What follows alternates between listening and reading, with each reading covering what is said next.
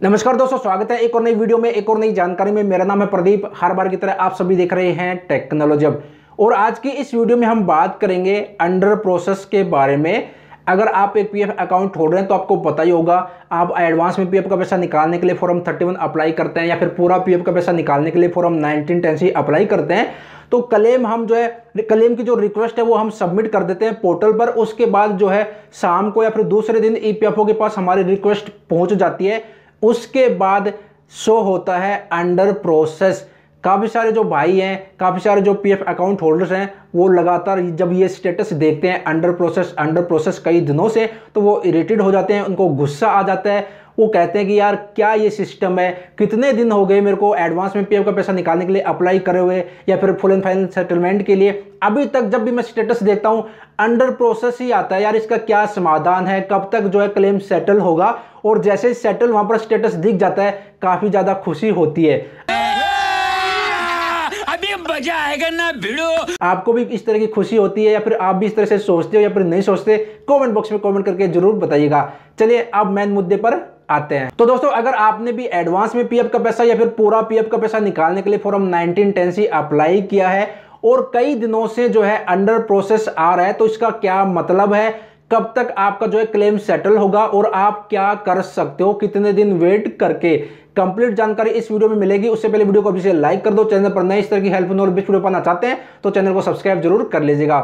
तो यहाँ पर मैं आपको बता दूँ कि देखिए, जब भी हम एडवांस में या फिर पूरा पीएफ का पैसा निकालने के लिए एडवांस में फॉर्म 31 या फिर पूरा पीएफ का पैसा निकालने के लिए 19 टेंसी अप्लाई करते हैं तो जब हम रिक्वेस्ट सबमिट करते हैं तो यहाँ पर आता है सबमिटेड एड पोर्टल उसके बाद जैसे ही ईपीएफओ के पास रिक्वेस्ट पहुँच जाती है ईपीएफओ के उस पीएफ ऑफ़िस में, उस फ़ील्ड ऑफ़िस में, उस क्षेत्रीय कार्यालय में जहाँ पर आपका पीएफ अकाउंट है, उसके बाद यहाँ पर स्टेटस दिखा देता है अंडर प्रोसेस तो तकरीबन यहाँ पर हमें जो है वन वीक हमें वेट करना रहता है और वन वीक के बाद अगर फिर भी स्टेटस अंडर प्रोसेस ही आता है, फिर आपको क्या करना है? इससे पहले मैं आपको बता देता हूँ, देखिए ईपीएफओ ने अभी ये जो कोरोना की महामारी चल रही है, इस पर जो है ईपीएफओ का स्टाफ कम काम कर रहा है और जितनी भी कंपनियाँ हैं, लगभग सबका स्टाफ जो है कभी अभी जो है काम कम कर रहा है। तो अभी ईपीएफओ ने कुछ दिन पहले बताया था कि अगर आप एडवांस में पीएफ का पैसा निकालते हो और आउटब्रेक और पेंडेमिक द्वारा सेलेक्ट कर लेते हो तो आपका पीएफ का जो क्लेम है सेटल हो जाता है तीन या चार दिन में मैक्सिमम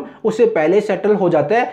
इसके अलावा अगर आप फॉर्म 31 अप्लाई करते हो एडवांस में पीएफ का पैसा निकालने के लिए इलनेस अप्लाई करते हो इलनेस पारा होम कंस्ट्रक्शन का या फिर कोई दूसरा पारा सेलेक्ट करते हो तो फिर आपका जो है क्लेम 15 से 20 दिन लग सकते हैं सेटल होने में, क्योंकि हम प्रियोरिटी देते हैं उन क्लेम को जिन्होंने अप्लाई किया है एडवांस में पीएफ का पैसा निकालने के लिए आउटब्रेक ऑफ़ पेंडेमिक पारा के तहत। अब यहाँ पर देखिए, अब अंडर प्रोसेस का मतलब क्या है? अंडर प्रोसेस का मतलब यह है कि आपकी जो रिक्वेस्ट है ईपीएफओ के पास पहुँच गई है और वो जो है वेरीफाई कर रहे हैं। उनके पास रिक्वेस्ट पड़ी हुई है, वो चेक करेंगे। उसके बाद जब सब कुछ वेरीफाई हो जाएगा, उसके बाद या तो आपका क्लेम सेटल हो जाएगा, या फिर उनकी तरफ़ से कुछ गलती पाई जाती है तो वो रिजेक्ट कर देंगे, ठीक है? अब यहाँ पर अगर आपने एडवांस में पीएफ का पैसा निकालने के लिए अप्लाई किया है फॉर्म थर्टी तो आपको क्या करना है? वन वीक आपको वेट करना है आउटब्रेक ऑफ़ पेंडेमिक पारा के लिए। इसके अलावा कोई दूसरे पारा के तहत आपने अप्लाई किया है तो आपको 15 से 20 दिन आपको वेट करना है, ठीक है? और अगर आपने फुल एंड फाइनल सेटलमेंट के लिए फॉर्म 19 टेंसी अप्लाई कर दिया है तो फिर आपको कम से कम 25 20-25 दिन आपको वेट करना है और 20-25 दिन जब कंप्लीट हो जाते हैं, उसके बाद भी स्टिल अंडर प्रोसेस ही शो होता है, फिर आप क्या कर सकते हो? आप मैं इसमें कुछ भी हेल्प नहीं कर सकता, कोई भी इसमें कुछ हेल्प नहीं कर सकता सकता, क्योंकि पैसा जो रहता है, वो ईपीएफओ को देना रहता है, उसके पास पैसा आपका। तो आप जो है सिंपल ग्रीवेंस रजिस्टर्ड कीजिए और एक साफ़ साफ़ लाइन लिखिए कि इस डेट को मैंने जो है एडवांस में या फिर पूरा पीएफ का पैसा निकालने के लिए फॉर्म 19 टेंस या फिर 31 अप्लाई किया है और आज जो है 25 दिन हो गए स्टिल अंडर प्रोसेस आ रहा है। उसके बाद तीन से चार दिन में ईपीएफओ की तरफ़ से आपको रिप्लाई 101 परसेंट मिलेगा।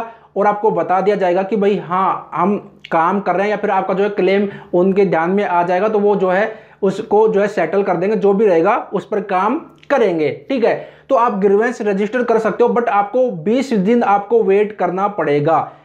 तो 20 दिन आप वेट कर लीजिए, उसके बाद ग्रीवेंस रजिस्टर कीजिए। अगर ग्रीवेंस रजिस्टर नहीं करना चाहते तो आप ईपीएफओ में मेल भी कर सकते हो ईपीएफओ के पीएफ ऑफ़िस में, अगर आपके आसपास है तो वहाँ पर विज़िट भी कर सकते हो।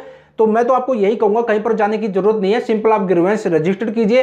पहले तो आप जो है एडवांस में पीएफ का पैसा निकालने के लिए अप्लाई किया है अप्लाई कर दिया है थर्टी वन फॉर्म ठीक है? आउटब्रेक ऑफ़ पेंडेमिक के लिए तो एक हफ़्ता वेट करो। इसके अलावा दूसरे पारा के तहत आपने अप्लाई किया है तो 15-20 दिन वेट करो।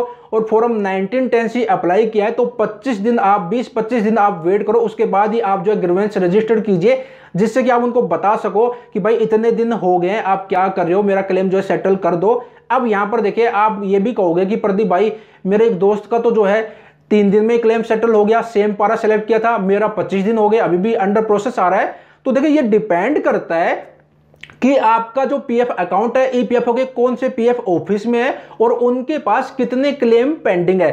अब मान लीजिए, ये गुड़गांव का पीएफ ऑफ़िस है और ये है दिल्ली का।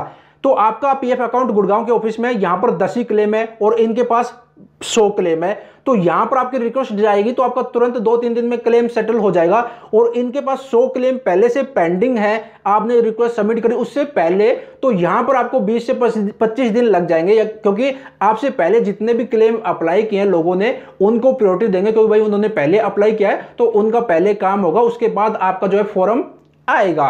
ठीक है? तो ये डिपेंड करता है कि आपका जो पीएफ ऑफ़िस है कहाँ पर है और उस पीएफ ऑफ़िस में कितने क्लेम पेंडिंग है, उसके ऊपर डिपेंड करता है। किसी का जल्दी भी हो जाता है, किसी का लेट भी होता है। और ईपीएफओ का कई बार क्या होता है कि जो ऑफिसर रहता है, वो दो तीन दिन छुट्टी पे रहता है या फिर उनका कुछ टेक्निकल प्रॉब्लम आ जाती है, ऐसे भी कुछ होता है। इसी वजह से थोड़ा सा डिले भी हो जाता है। अब यहाँ पर मैं आपको एक बात और बता देता हूँ। देखिए ईपीएफओ ने काफ़ी सारे जो है तरीके दे रखे हैं जिससे कि आप ईपीएफओ में बात कर सको।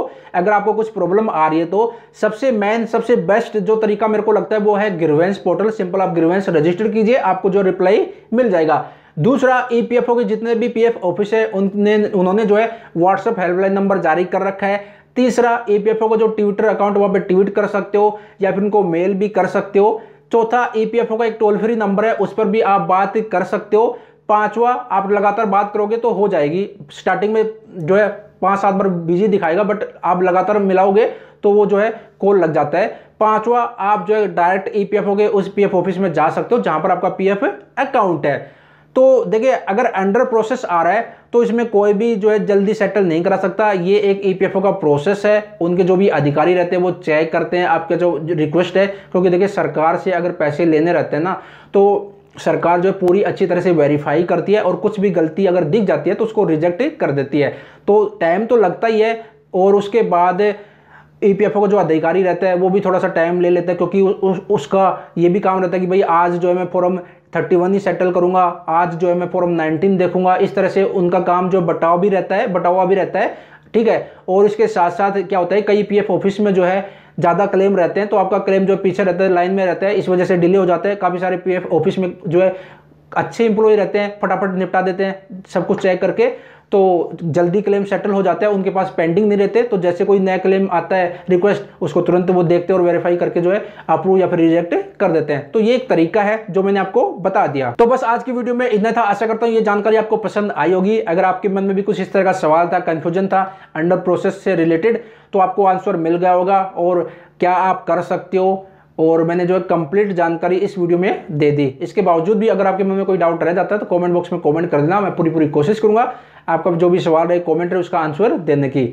आज की वीडियो में इतना था, बस मैं प्रदीप तो इस तरह की हेल्प नॉलेज एक और नई जानकारी के साथ अपना ख्याल रखेगा बाय टेक केयर